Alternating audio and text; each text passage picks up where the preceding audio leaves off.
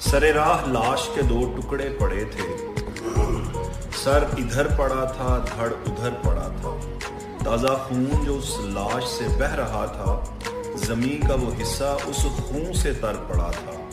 पूछा किसी ने कि कौन बदबख्त है ये और कौन सा जुर्म कर पड़ा था, कातिल पास खड़ा था। बोला, इश्क हूँ मैं, ये मुझसे लड़ पड़ा।